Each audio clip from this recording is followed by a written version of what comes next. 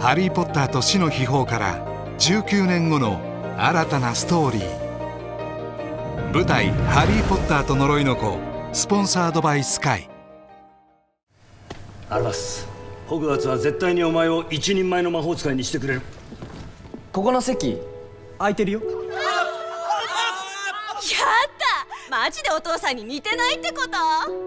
パパが僕のパパじゃなければいいと思ってるだけだ！ああこっちもお前は息子じゃなきゃいいと思ってるだって何度も大きな過ちを犯したんだ。僕はその一つを正したい。魔法省にはタイプターナーがあるんだろ。救い出すって言ってたわ。素敵なあの子。時間を移動している。ハリー・ポッターお前の息子の周りに黒い雲が立ち込めてる。